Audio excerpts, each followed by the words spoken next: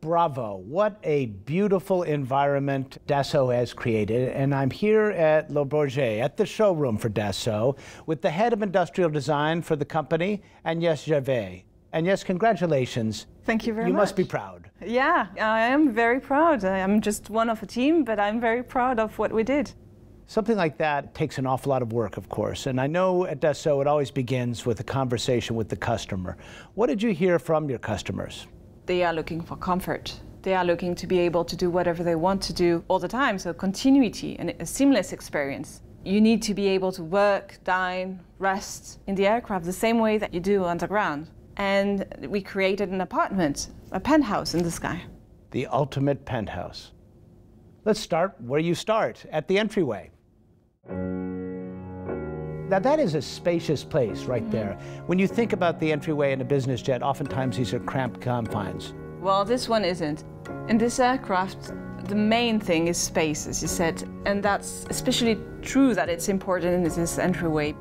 The crew rest that you need for those long flights can also be used as a sitting area to chat. You know, like in kitchen, it's the best place in an apartment. And then on the other side, you have what is exactly um, high-end kitchen. Those two windows provide plenty of natural light. We have a huge countertop to be able to prepare the best meals. With the oven, the standard chiller allows you to prep all the food you need on board for those long flights.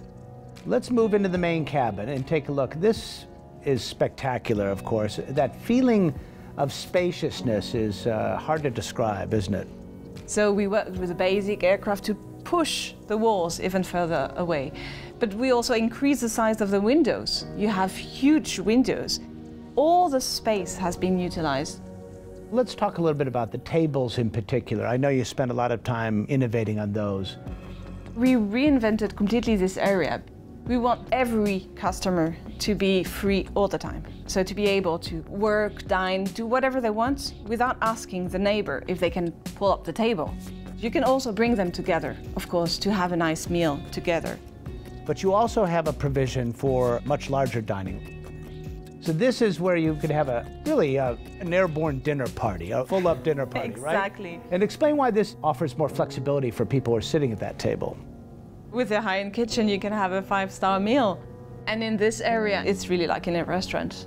Everyone has his own seat, and because of this huge fuselage, you have the room to track your seat and be able to get in and out without disturbing your neighbor. Let's go to the aft cabin and see what's in store there. I'm sure you've got a lot of good surprises there as well. If you choose the entertainment lounge, you can have a huge screen on top of a credenza. With this sensory design approach, we are emphasizing the experience so surround sound is optimized by the upholstery on the wall. Everything is made so that your experience is the best. It's really very flexible. You can use all the different area depending on professional need, personal need. You can even have a, a bedroom if you wish, so. All right, let's look at the bedroom. A lot of space to play with here as well. Yes, if you want to extend the bedroom, you can make it a suite, a master suite. You can have your own bed, 50 inch or 60 inch if you wish to have a queen size bed.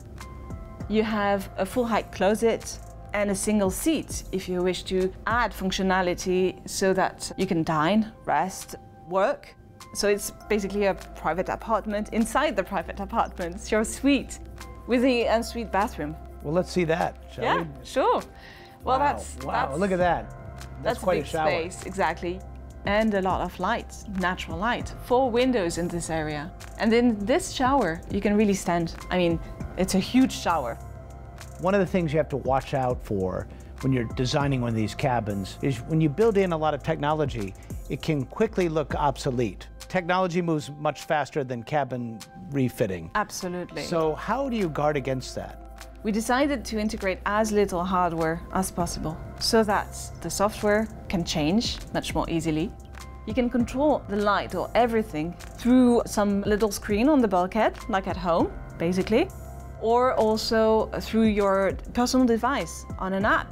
It's just much more flexible. The cabin is really a smart cabin, very technological, but we want the customer to not even think about it. It just needs to be there when you need it.